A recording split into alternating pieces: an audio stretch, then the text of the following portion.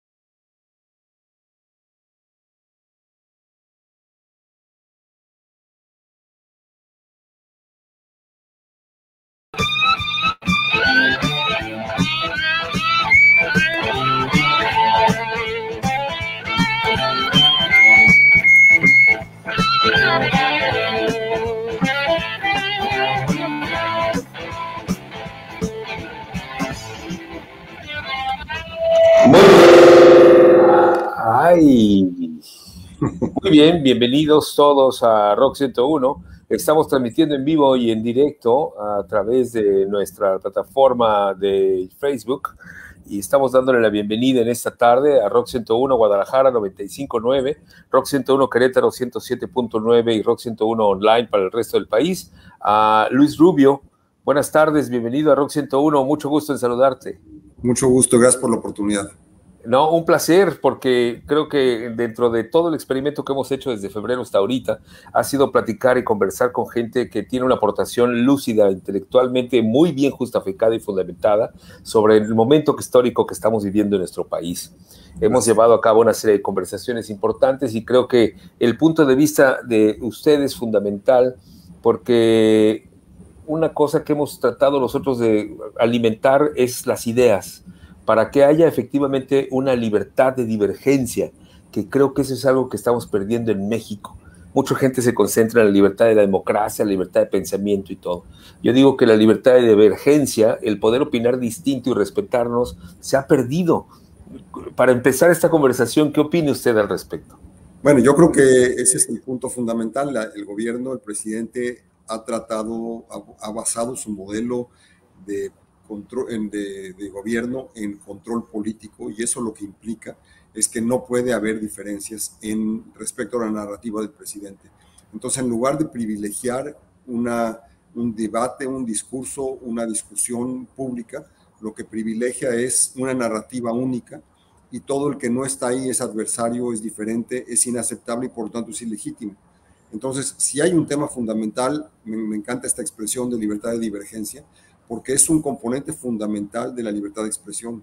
Es, si, si no se puede disentir, si no se puede pensar diferente, no hay, no hay tal libertad. Exactamente, y yo siento que hay una especie de principio, creo que muchas veces nos hemos confundido, sobre todo con las redes, cuando se habla, por ejemplo, de linchamientos o términos como estos que son muy dados del presidente a ser utilizados, ¿no? La, OEA es lacayo de algo, términos que son muy apantallantes, pero creo que nos hacen perder el foco principal. Eh, por ejemplo, lo que ocurrió esta mañana eh, eh, y ayer con el asunto del quiénes quieren las mentiras, ¿no? Que provocó un desplegado el día de hoy de, por parte de los colaboradores del Universal. Eh, yo escribía que era impensable, cuando fue la elección de 2018, que llegara un momento en el que fuera necesario que los periodistas, los columnistas, los pensadores tuvieran que explicarse frente al poder político, cosa que no había ocurrido desde hace 40, 50 años en nuestro país. Entonces, cuando usted, eh, cuando decimos que están linchando, yo creo que no es tanto linchando, sino como que es el principio de una idea de adoctrinamiento que no está justificada con nuestra realidad social y política y cultural de México. ¿Estaría de acuerdo con esto? Lo, que pasa es que cuando, como un candidato llega a la presidencia, como un candidato maneja su campaña, es como va a acabar gobernando, porque no puede ser de otra manera entonces, si la plataforma de una campaña es de confrontación, es de, des, de, desacreditar, de descalificar, se vuelve imposible gobernar de una manera distinta. O por lo menos el presidente López Obrador ha decidido que él no va a cambiar ese modelo, que él decidió que no va a ser presidente de todos los mexicanos, a menos de que estén dentro de su propia narrativa. Cualquiera que disienta de esa narrativa no participa en ese proyecto y por lo tanto es adversario, es enemigo y es sujeto natural del linchamiento y no hay, a diferencia, por una parte eso ha permitido que todos los que están del lado del presidente López Obrador no tengan un incentivo para manifestarse en las calles y ese ha sido un gran logro del, del, del gobierno actual. Por otra parte, lo que eso ha provocado es que tengamos esta confrontación, este nivel de discordia tan grande que tampoco era típico de México. Había diferencias muy grandes y había, pero siempre había un intento por parte de los gobernantes de vamos a sumar, vamos a llegar al centro, cosa que no siempre ocurrió. Peña fue para el otro lado, pero sí. su discurso al menos no era en ese sentido.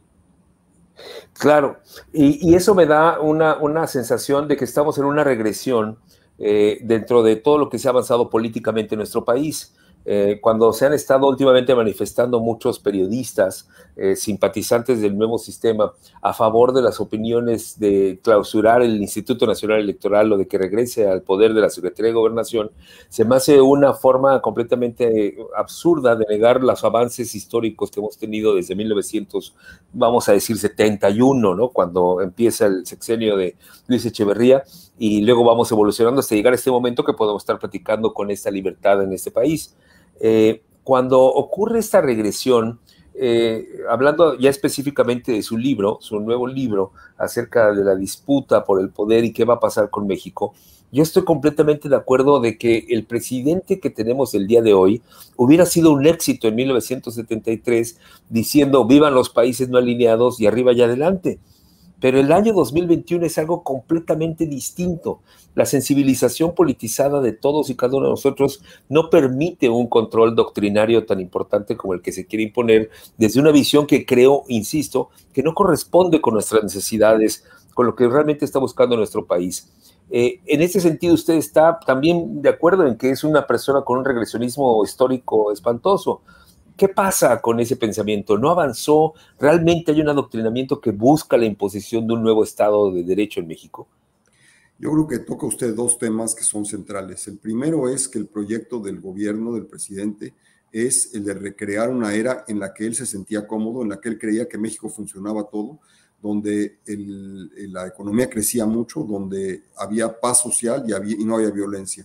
Y esa era para él, en los años 70, en que él desde, desde Tabasco veía que el país progresaba, que Pemex era un potentado, que era el que generaba por lo menos dos o tres puntos de crecimiento anual en, la economía, en adición a lo que se creara en, otros, en otras instancias. Y ese, ese modelo lo tiene perfectamente claro y quiere recrearlo. Como usted bien dice, en el siglo XXI eso es simplemente imposible. La otra cosa es que la, transición política que hemos vivido ha sido muy peculiar y muy distinta a la de la mayor parte de los países que han intentado una transformación política, porque desde un principio fue una transición que fue concebida para proteger al sistema político existente. La idea era vamos a reformar la economía para que el crecimiento se restablezca, pero no vamos a a, cambiar el sistema político porque los que lo estaban imponiendo, hay que recordar a la, frase famosa de, Fidel Velázquez que dijo en algún momento que por las armas llegamos y por las armas nos van a sacar. Eh, en, ese contexto lo que estaba haciendo, el, cambio político que se dio fue un cambio más bien limitado y que, era, que no tenía por propósito ir mucho más lejos. Recuerdo en un, creo que el único informe presidencial que llegó a dar eh, Vicente Fox en, en eh, la Cámara de Diputados, Recuerdo que entrevistaron a los líderes de los tres principales partidos y la respuesta fue fascinante porque al del PRI le preguntaron que si México era una democracia y él dijo que México siempre había sido una democracia.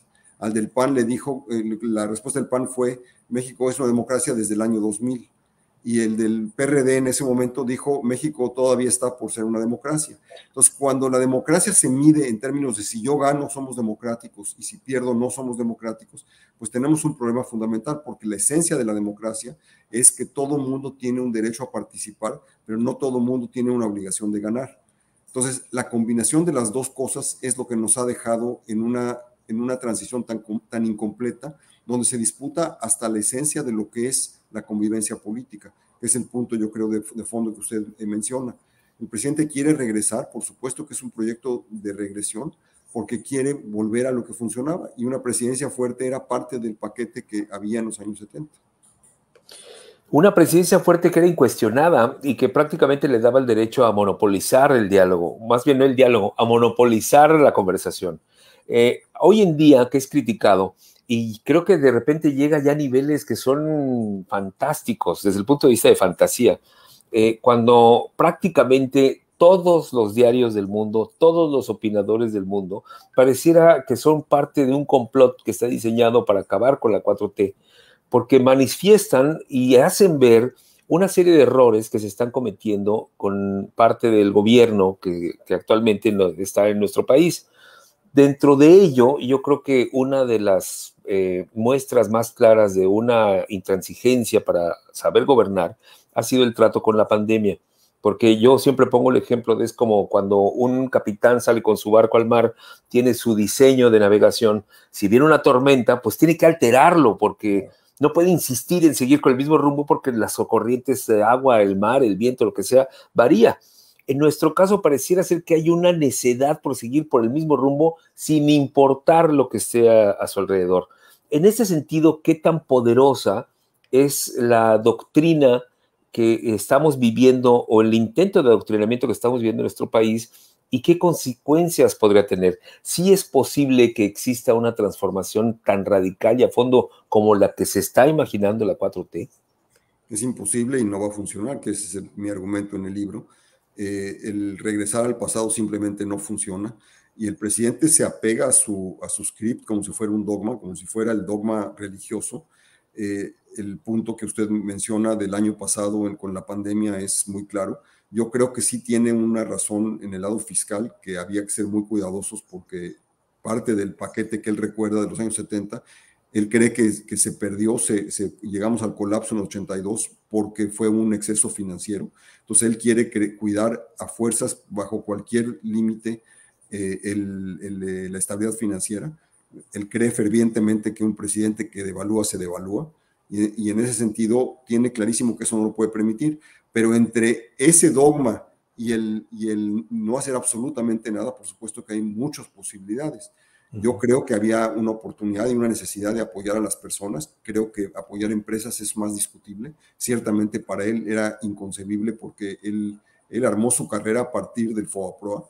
Y el FOAPROA, eh, pues ya para, para, él es, es lo peor que puede existir con razón o sin razón, él lo cree y por lo tanto e, es, válido, pero apoyar a las personas que perdieron su empleo y que dejaron de tener oportunidades para, para sobrevivir es, es, un tema muy distinto y, y, ese es parte del castigo que recibió, sobre todo en las ciudades grandes, en las elecciones recientes. Sí, la semana pasada entrevisté a Gabriel Cuadri y hace como, más bien antes de las elecciones, entrevisté a Pablo Gómez. Los dos compitieron por la Diputación Federal de, de parte de Coyoacán. Eh, cuando entrevisté a Pablo Gómez, él seguía con su misma línea de pensamiento de que estábamos todos trabajando hacia una transformación, que le diéramos oportunidad y que no entendíamos mucho qué es lo que estaba pasando. Cuando entrevisté a Cuadri, entrevisté a Cuadri fue después de la elección y entonces le hice ver que le habían quitado un uh, terreno que era absolutamente propiedad del PRD de Morena desde hace 30 años, 35 años, y que había ganado por abrumadora mayoría en el año 2018 tanto López Obrador como Pablo Gómez como el nuevo alcalde de parte de Morena. Este tipo de transformaciones que están pasando en nuestra sociedad, eh, ¿usted cree que responden a que aquellos votos de literalmente, entre comillas, esperanza que se dieron a favor del movimiento de Morena 4T y Andrés Manuel López Obrador se están desgastando por parte de la forma como están gobernando y él, él no lo ve, el presidente no lo ve, no es sensible ese cambio, de veras cree que es un acto deliberado de manipulación de la información el decirle esto está mal, el pueblo está enojado, están cambiando los votos y cree que es culpa de otros, como lo ha documentado mucho la prensa, que el perder la Ciudad de México le echó la culpa a sus delegados, eh, ¿Realmente lo cree? ¿Usted cree que lo cree el presidente? ¿Está convencido de que él está haciendo un buen trabajo y que el mundo somos lo que no lo comprendemos? Yo, yo creo que hay un, yo creo que, no, yo creo que lo creo fervientemente. Y también creo que, que hay, un, hay que ser cuidadosos en la lectura de lo que pasó en 2018 porque no hubo una sola motivación para ese voto. Hubo gente que estaba hastiada, hubo gente que ya no podía ver ni en pintura, por así decirlo, al PAN o al PRD, pero, perdón, al PAN o al PRI había gente que quería tener una gran esperanza, hay gente que es creyente, ferviente en, la persona de, Andrés Manuel López Obrador.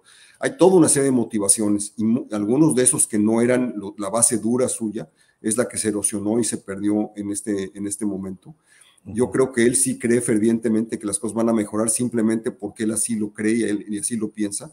Pero lo que estamos viendo es que los proyectos del gobierno son realmente tres. Son el tren, el aeropuerto y la, refinería, y ninguno de los tres son proyectos que sean, sean transformadores, van a tener un impacto en sus sectores, bien o mal, eso ya lo veremos en el tiempo, pero no es del tamaño de una carretera que cruzara todo el país, no es del tamaño del Tratado de Libre Comercio, no, no son cosas integradoras que le vayan a dar una gran transformación, una oportunidad de transformación al país.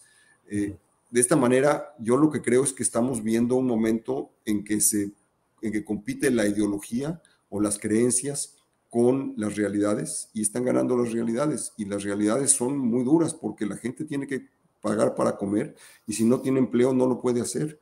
El año pasado nos dividimos los mexicanos como todo el mundo, pero, pero nos dividimos en México entre dos grupos, los que podíamos trabajar como estamos ahorita en un, en un medio eh, virtual eh, digital, y los que tenían que ir todos los días a trabajar porque no tenían alternativa, porque si no se morían de hambre sus familias. Eh, ese, esa, esa diferencia requiere acciones distintas para que podamos tener un solo México. Si no, lo que vamos a acabar es en un país más desigual, con por lo tanto más corrupción y por lo tanto con menos gente satisfecha. Es un riesgo enorme el que estamos corriendo. Me parece peligrosísimo y cierto lo que está diciendo. Y, eso me llevaría a una pregunta, no sé si está eh, planteada dentro de su libro, pero hay un proyecto de gobierno. ¿Podríamos definir la 4T? ¿Hacia dónde va? ¿Cuál es su plan? ¿Cuál es su objetivo final? Claro, hay, más que un proyecto, hay una visión clarísima, así como, como la Biblia, un dogma, que es el de recrear los años 70. Todo está diseñado para concentrar el poder, todo está diseñado para hacer una presidencia más fuerte, porque hay la creencia de que una presidencia fuerte, con una empresa fuerte en energía, por sí mismos van a crear condiciones distintas. El único problema es que la empresa de entonces, la Pemex de entonces, era una empresa que compraba tubos, aceros, cemento, eh, es decir, todos los componentes que se requerían, perdón, maquinaria, y eso genera una, una, demanda en toda la economía, en todo el país. Mientras que hoy en día es una, es una empresa que consume todos los recursos del gobierno porque está endeudada hasta el tope, o más del tope, de hecho, eh, en términos financieros está, está quebrada. Eh, hoy, hoy, de hecho, la, una de las calificadoras la, la, degradó en términos de inversión, de, de, nivel de inversión. Entonces, eh, lo, que, lo que tenemos es un una visión que no tiene un aterrizaje en una estructura, una estrategia concreta. Y por eso no es necesario un gabinete muy prominente porque el presidente es el que decide todo. Eh, no, es, no es una estructura y una estrategia para un país del siglo XXI, es una estrategia para un país de hace muchas décadas cuando todo era mucho más sencillo y más simple en México y en el mundo.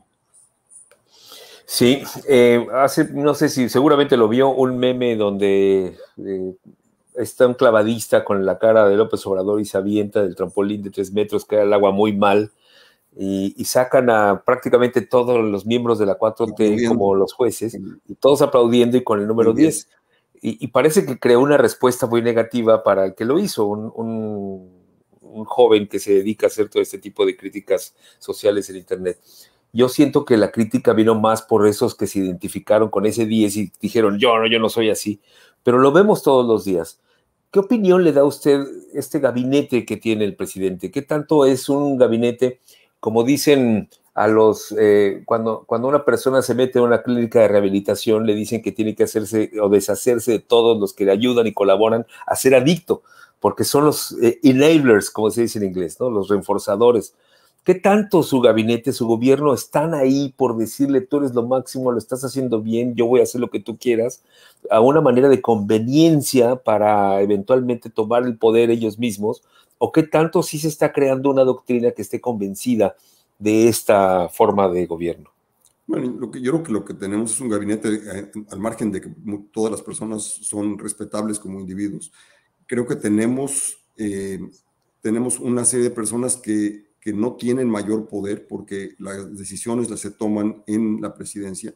Y encima de eso, eh, con el anuncio de quiénes van a ser, de la, pues con la quitarle la corcholata, como él dijo, para, para el, anuncio de, los potenciales candidatos, eh, eso lo que crea es una dinámica en la que cada quien va a estar trabajando para su propio objetivo, ya públicamente y abiertamente y de manera legítima y todas las, todas las huestes de cada uno de ellos dentro de Morena van a estar haciéndolo así.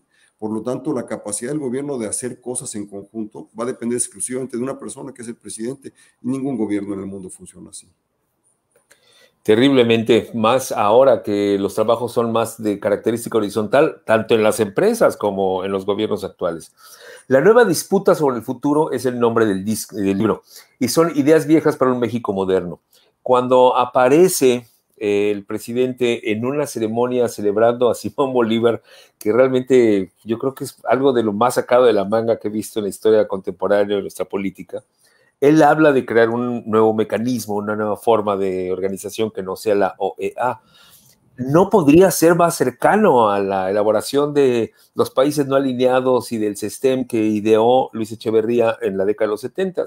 Sin embargo, yo creo que Luis Echeverría, con todo y su locura, estaba más fundamentado teórica y sólidamente, intelectualmente, su proyecto que el que estamos viendo ahora, que pareciera ser un proyecto de puntadas. ¿Cree que es un proyecto de puntadas o sí tiene una justificación dentro de la imaginación que posee la 4T? Bueno, yo creo que él hubiera sido el presidente natural, como usted decía, en los 70. Eh, hubiera sido una persona que hubiera podido seguir el proyecto en aquel momento con quizá mayor cuidado financiero, pero en esta época simplemente, mm, aunque tiene, no, no tiene un sustento teórico, tiene un sustento histórico. Y mm. la idea es que todo lo que se hizo a partir de 1982 fue equivocado. La idea de incorporarnos al mundo, de abrir la economía, de, de, de crear el Tratado de Libre Comercio, por cierto, no hubiera, no hubiera sido posible renegociarlo sin él, que es una paradoja que, tenemos. Eh, todas esas cosas son parte de, una visión que, tiene mucho, tuvo mucho sentido en el país en su momento, pero que dejó de tenerlo cuando las cosas cambiaron. Y si no cambia uno de, de estrategia y de visión, pues no es posible enfrentar los problemas. Todos los presidentes en el mundo, en cualquier país, se encuentran, tienen sus grandes proyectos, pero cuando llegan ven la realidad y tratan de ajustarse a ella. Muy pocos se adaptan, muy pocos siguen con sus dogmas. Trump fue un desastre porque se siguió en sus dogmas y no reconoció las realidades de Estados Unidos. Lo mismo nos va a pasar con, con el presidente López Obrador. Confiadamente, y por eso yo en eso discrepo con muchos economistas, yo no soy economista, pero con muchos economistas, eh, en que lo que se hizo el año pasado por lo menos cuidó las, los agregados financieros y al hacerlo con, con suerte no acabaremos en una crisis financiera importante. Entonces el costo nada más habrá sido en lo que se perdió, no en lo que, se, no, en lo que dejó, dejamos de tener en términos de crecimiento y demás, y no en un desorden espantoso en el sentido económico o en el sentido de seguridad u otra cosa. Eso es muy importante porque la última vez que tuvimos una aventura como estas en 1976 fue el inicio de la crisis que cuando menos a toda mi generación nos llevó de corbata en nuestra carrera profesional. Eh, qué bueno que tiene esta visión para tranquilizarnos un poco porque ya todos estamos viendo 2025 como peor que estos años de la pandemia. Ya casi para terminar, le preguntaría sobre la oposición. Eh, porque uno de los grandes discursos de esta 4T es que no hay nadie que esté enfrente de ellos como para eh, compensar o balancear el ejercicio de poder que ellos tienen y por eso es un argumento suyo de tener la razón. ¿Cómo ve usted a nuestra oposición? ¿Tiene posibilidad? No hemos visto todavía quién va a ser, eh, quién vaya a competir en el 2024 contra esta ideología. Si hay oposición, la oposición somos ahora los medios, que como también leía que un intelectual decía, cuando la oposición política falla, los medios asumen ese papel, no porque queramos competir por posiciones políticas, sino porque es parte del oficio de denuncia. ¿Cómo ve la oposición? Bueno, la oposición eh, tiene problemas en, varios, en varias dimensiones, pero lo que logró en esta elección reciente de la intermedia fue notable porque se unieron en lugares importantes y en donde no se unieron perdieron. Sobre todo son claros los casos de Campeche y de, Nuevo León, donde no, por no unirse, eh, no ir con candidatos únicos, perdieron. Eh, a diferencia de lo que está pasando en Morena, que es, las fuerzas centrífugas están operando, en el caso de, la oposición, lo que estamos viendo es lo contrario, son las fuerzas centrípetas que están juntando hacia el centro todo.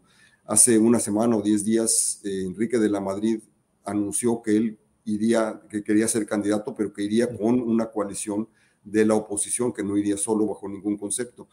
Yo creo que mucho va a depender de qué pase con los liderazgos de los partidos. Es, ninguno de los que tenemos hoy son particularmente notables, por lo menos de los tres partidos, PRD, PAN y, PRI.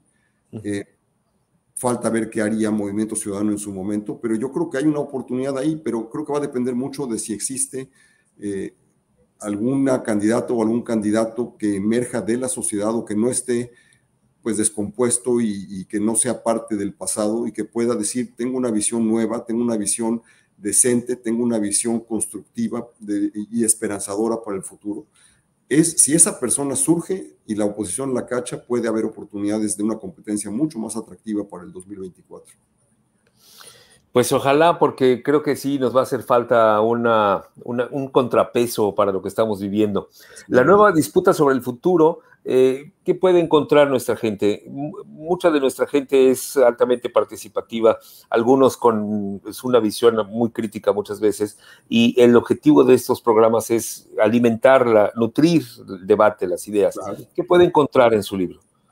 bueno, lo que el, libro argumenta tres cosas fundamentales. Primero, que tenemos un, un, problema básico de estructura de gobierno. Tenemos un sistema de gobierno que viene del siglo XIX, de hecho, del porfiriato, y que nunca ha cambiado en estructura básica. Eh, la economía cambió mucho, pero el sistema político no ha cambiado se reformó, como decía yo antes, la economía, pero ha, habido, ha sido mucho más de forma reactiva las reformas eh, electorales políticas que hemos tenido en estos años. No hay un, sistema de gobierno que funcione adecuadamente, que nos represente y que responda. Eh, si nos vamos más lejos, el, el, federalismo es un desastre. No, no, los gobernadores a veces tienen más poder, a veces tienen menos poder. Un presidente llega y desconcentra el poder, otros lo concentran. No, no tenemos una estructura de contrapesos que funcione adecuadamente. Un segundo tema es que la estrategia y el objetivo del presidente es concentrar eh, el poder, como, como he mencionado ya varias veces, y eso es más una idea de recrear un viejo sistema en vez de hacer algo diferente. Y la tercera idea es que tenemos una disputa interna entre si vamos a hacer una democracia, si vamos a hacer un sistema autoritario, y si, mientras más tardemos en definirnos qué queremos y qué podemos hacer, vamos a tener un problema muy, muy serio. La idea de que, de que China es muy exitoso porque es autoritario quizás sea cierta, pero los mexicanos no somos China.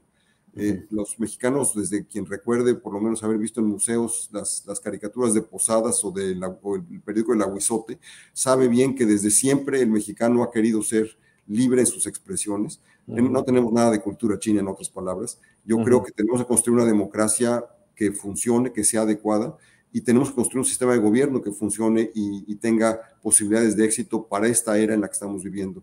Mientras eso no suceda, vamos a seguir dándonos contra la pared un gobierno tras otro.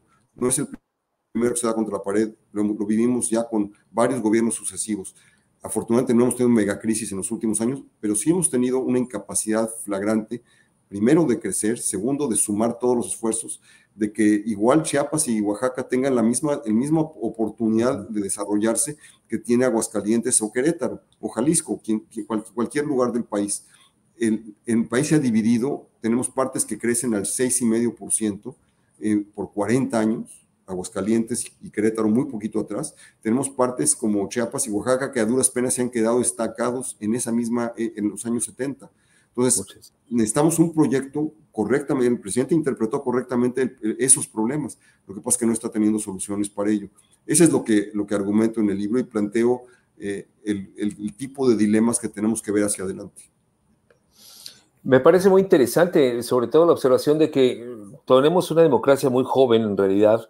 Eh, no es cierto que hemos sido un país democrático desde 1900 17, 1921, no es cierto. Eh, es una democracia literalmente joven que yo creo que tendrá lo que lleva nuestro siglo. Eh, y muchas veces la gente piensa que eso es más que suficiente. Retomo unas ideas de conversaciones que he tenido, una por ejemplo con Ricardo Rafael, que decía que lo más importante es que dejemos todos de ser solamente votantes, sino que nos convertamos en ciudadanos y que reflexionemos y pensemos en la importancia de nuestra aportación a la sociedad y otra conversación con Carlos Mota donde él me decía esta simulación que usted dice, o sea, no es cierto que haya habido una transformación en nuestro sistema político, porque muchas ideas cuando se transformaron no derrumbaron los monumentos que las representaban. Y él ponía el ejemplo de la fuente de petróleos, decía, bueno, ahí sigue la fuente de petróleos, la adoración a petróleos mexicanos con todo y que se intentó transformar a la empresa. Entonces, los dogmas, de alguna manera, de nuestra revolución, ahí están vivos, son retomados, son retomados por un presidente en el siglo XXI con ideas del siglo XX y estamos metidos en este galimatías. Eh, para concluir, ¿qué le recomendaría a nuestra gente joven? Porque muchas veces dicen, sí hay libertad de expresión y por eso critican y destruyen y no escuchan al presidente, pero no hay una aportación de ideas, que creo que eso es lo que ha ocurrido mucho en este debate falso, porque no hay aportación de ideas. Cuando uno ve la mañanera todos los días, no hay defensa de los proyectos a partir de conceptos que sean construidos con, con, una discursiva que intelectualmente justifique las acciones. Y lo mismo pasa con sus defensores y lo mismo pasa del otro lado también. Hay gente que desde el otro lado dice nada más a través de insultos y ofensas y descalificaciones sin sentido. ¿Qué, es lo que nos recomendaría a partir de la lectura que por supuesto hay que leer, hay que leer todos los días y la nueva disputa sobre el futuro lo estuve leyendo una parte, me pareció sumamente interesante estas reflexiones y de ahí el interés de esta conversación. Eh, ¿Qué le recomendarían a nuestro público que, que nos esté escuchando ahorita y que muchas veces dice, ¿qué tiene que ver la política en mi vida? Y yo, ¿por qué quiero escuchar esto? y al final del día se dan cuenta de que sí, que sí es necesario escuchar entre líneas todo lo que platicamos y que tiene que ver con la creación de nuevas ideas como para poder exigir una nueva forma de gobierno. Yo diría dos cosas. Primero que nada, eh, el hecho de que las personas no, la, la, mayor parte de la población no entienda por qué la política es importante, es revelador en sí mismo. Yo tengo una hermana que vive en Estados Unidos y siempre que sus hijos han ido a la universidad y han requerido una recomendación, lo primero que hace es hablar a la, oficina de su diputado y, obtiene una carta de recomendación porque es un servicio al cliente. Ellos ven su futuro, los diputados ven su futuro en relacionarse con su base electoral. Si no la representan, pues no tienen ninguna importancia. En México no tenemos esa conexión. Yo no, tengo, me dedico a esto y no tengo ni idea quién es mi, diputado de mi, de mi distrito, no lo sé porque no hace ninguna diferencia. No, no, no, hay ningún incentivo para, para, eh, para, tener esa conexión. Entonces tendríamos que reformar el sistema político para que nos represente, para que no se representen a sí mismos. Y, podríamos platicar más de eso. Sí. Respecto a los jóvenes, yo creo que es, hay, hay un cambio radical que ha ocurrido eh, no por México, sino por la tecnología. Y es que toda esta participación que todo mundo tiene, desde el más joven hasta el más viejo, a través de los medios digitales, de las, de las, eh, de las redes sociales, esta discusión que nos permite tener presencia elimina la diferencia de las edades. Antes se hablaba de que los, los viejos le van a alegar al país, a, a los jóvenes, otras cosas. Hoy en día todos somos protagonistas o todo el mundo puede ser protagonista y eso hace que ya no se puede ignorar lo que piensen los jóvenes. Entonces la fuerza de los jóvenes es mucho más importante. Los temas de ecología, los temas de mujeres, los temas de género son temas que están en la palestra no porque los que tenemos más años los queremos, sino porque los jóvenes los han, los han impuesto en la agenda son ellos los que están llevando la agenda. Entonces, eso transforma radicalmente la discusión pública. Un presidente no puede eh, hacer lo que él quiera, puede, tiene, puede tener poder para administrar la burocracia a su antojo, pero no puede hacer cualquier iniciativa porque se enfrenta con los votantes que no les gustó lo que hizo. O, se enfrenta con el descrédito, se enfrenta con lo que pasaba con Echeverría, que era había chistes sobre el presidente todo el tiempo usted hace un momento comentó de, este, de este meme del presidente que salta a una alberca. Pues esos lo vimos muchos. Y mientras más lo va viendo, porque se vuelven virales, eso hace que todo el mundo tiene ya una, una impresión eh, del presidente que puede ser buena o mala.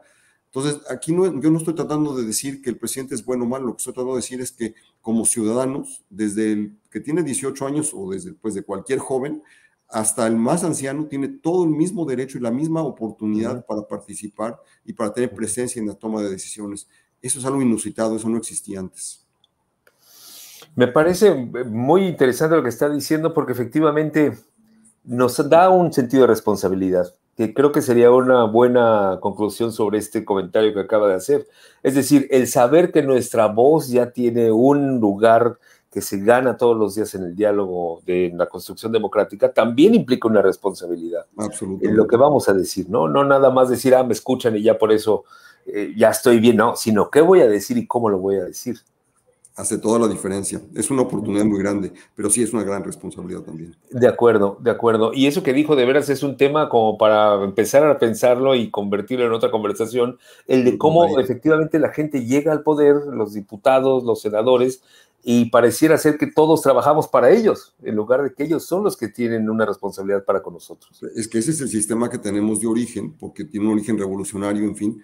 Eh, cuando, se, cuando se desarrolló la idea de la reelección, que yo creo que era una gran idea de, para los diputados y senadores, eh, lo primero que hicieron fue meter un transitorio, un artículo transitorio en el que eran los líderes de los partidos los tenían que estar de acuerdo en que se pudiera postular para reelección un diputado o un senador.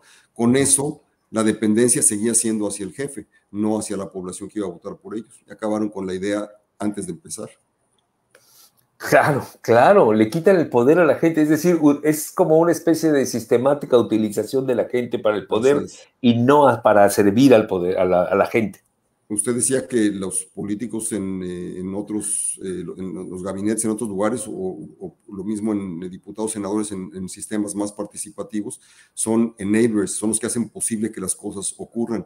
Bueno, en México no tienen ni el menor interés ni el menor incentivo para que eso sea así y menos con una carrera allá liberada y lista para que cada quien compita para la sucesión. Por supuesto, cada quien va a utilizar los recursos que tiene a su alcance para crear su plataforma electoral. Para el siguiente chamba. Qué barbaridad. No, muy, muy, muy, qué bárbaro. Muchas gracias por esta conversación. Verdaderamente nos abre mucho luces. Yo le pido mucho a la gente siempre que cuando ve estas conversaciones, porque las retransmitimos constantemente, veamos y escuchemos entre líneas. Toda la importancia de lo que nos acaba de decir creo que es de un gran valor para nuestro diálogo y de aportación para nuestro programa. Le agradezco mucho la oportunidad, me da mucho gusto conocerlo. Igualmente, finalmente, el libro ya está en todas las plataformas digitales. está en, todas las plataformas digitales y está en todas las librerías. Muy bien. Muy bien, pues entonces es la nueva disputa sobre el futuro de Luis Rubio, eh, ideas viejas para un México moderno, que creo que sintetiza esta conversación de una manera más elocuente, por supuesto, más profunda y mucho más enriquecedora. Gracias por la oportunidad. Muchas gracias. Buenas tardes. Buenas tardes, mucho gusto. Igualmente. En Facebook somos Rock 101 Online. Rock 101 Online. En Instagram somos Rock 101 Online. Rock 101 Online. En Twitter somos arroba R101CK. Twitter arroba R101CK. En la vida somos Rock 101. Puro total y absoluto. Rock and roll.